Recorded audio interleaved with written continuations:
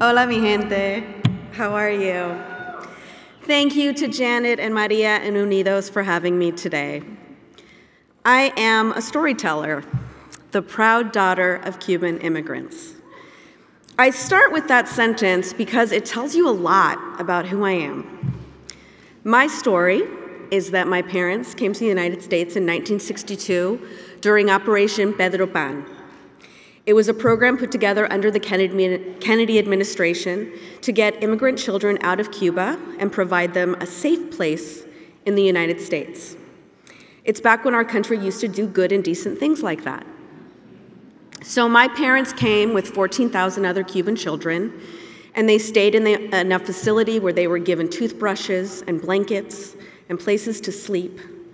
And when it was clear that Kennedy would not be able to overturn Castro's regime, my grandparents left Cuba to be reunited with their children, and the American dream began for my family.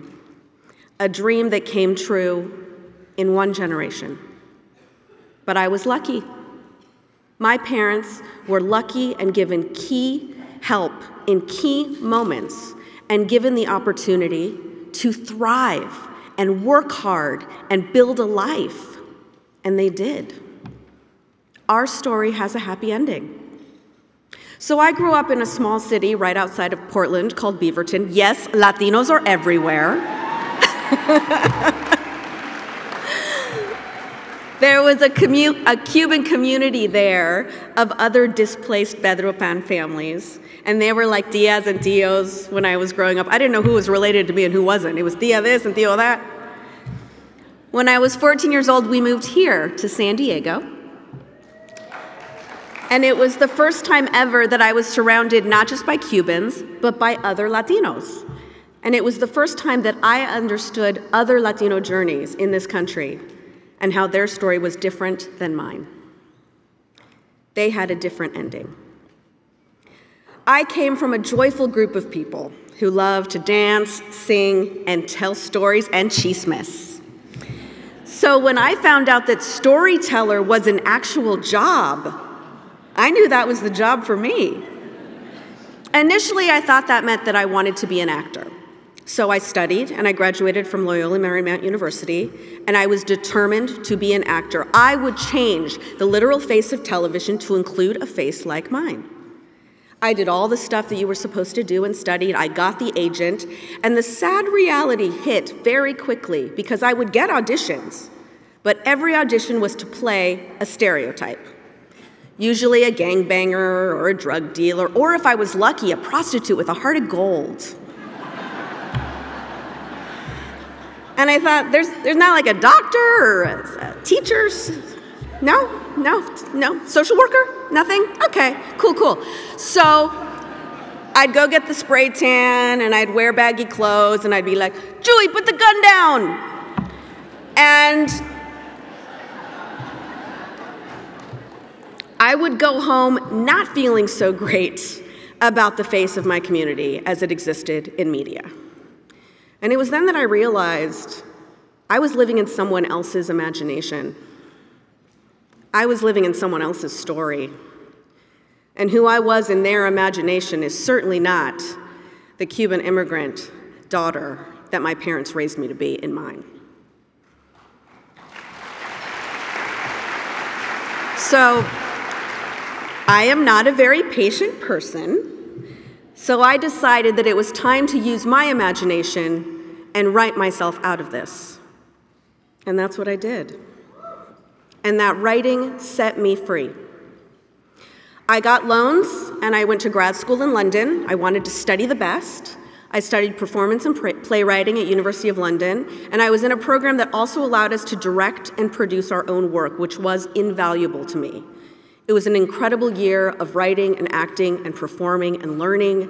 And so when I came back to Los Angeles, I was determined to hit the ground running as a writer. When I got back, I started thinking of ways to put on my own plays, and I built a network of like minded artists, and we would encourage one another. I started doing stand up and sketch comedy and improv shows and try my material out anywhere that would let me.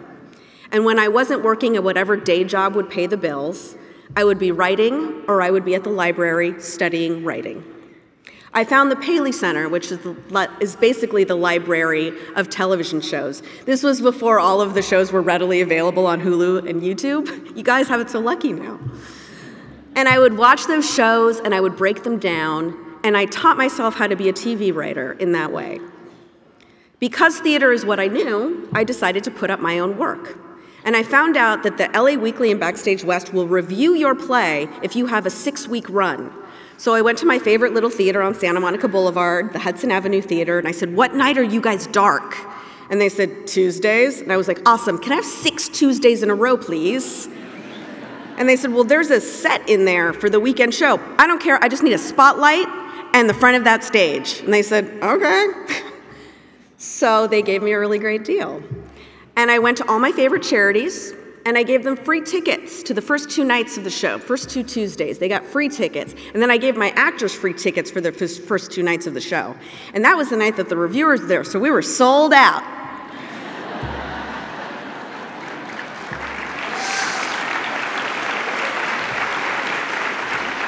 and people loved the show. People loved Latina women, women of color, women of several shapes and sizes doing this amazing, funny work. And the rest of the run, we had a sold out line around the block to get in to see my show. And that's how I got my agent, my manager.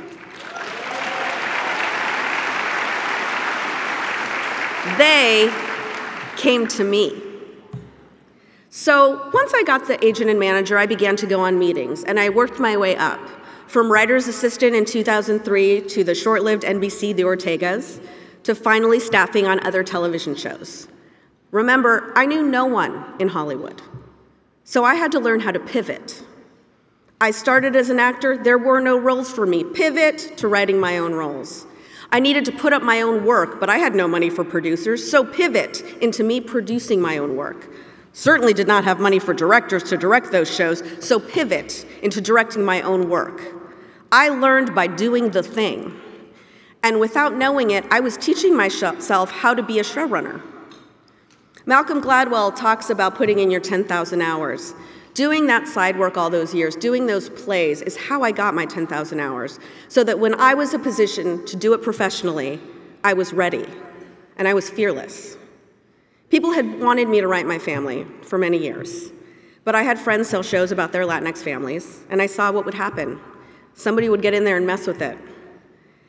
And I couldn't do that to my family because I love them. So I kept them in the back of my brain and I waited. I had gotten to the point in my career after iZombie where I had the privilege of getting to do everything in television writing. I had done half hour multi camera comedies with Rules of Engagement. I had done half hour hybrids with How I Met Your Mother, single camera comedies with Mixology, one hour soap with Devious Maids, and one hour procedural with iZombie. And I got to sit with, all right, Gloria, what are you going to do now?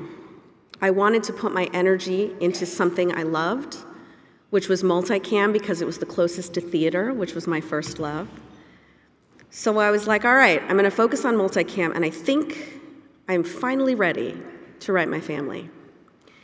And as like when I said that, it's like the heavens opened, and I got a phone call that Norman Lear wanted to sit down and meet with me. He wanted to reimagine one of his shows from the 70s, One Day at a Time, but with a Latinx family. So I went to the meeting, really because I just wanted to meet with Norman Lear. I'm just going to be honest. and that meeting changed my life.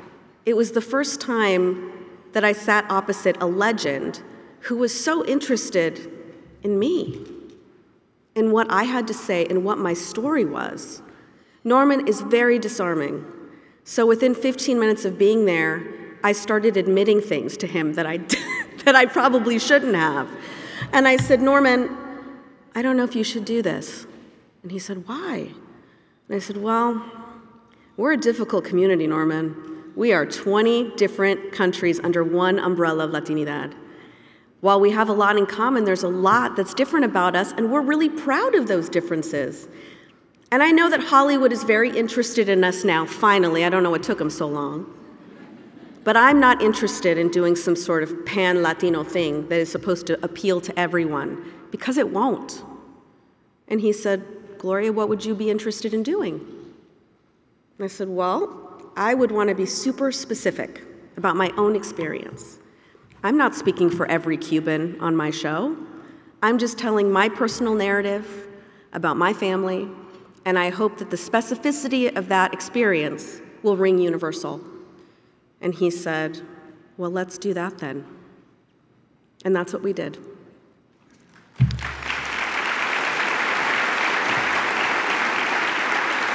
And we were critically acclaimed with 100% on Rotten Tomatoes. And, and if you haven't seen the show, y'all, you better see it. It's on Netflix. And we won several awards and made three beautiful seasons that I am so very proud of. But even then, we were canceled. So, what have you learned, all? What y'all learned about me? So pivot, okay? Again, I know how to be my own PR machine. And just like those days on Santa Monica Boulevard where I had to get people to see my show, I went to every panel, every promo event, every podcast, and I talked about why I thought this show was important right now in this moment in time and why I had to make more. And for the first time ever, a show canceled by Netflix was picked up by another network.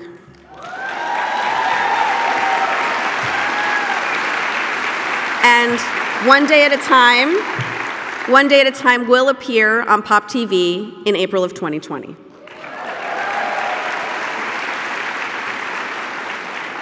A lot of people like to ask me, what's it like to be a Latina woman in Hollywood? Uh, I don't know, because it's all I've ever been. So, uh, great, great right now, because I have the power,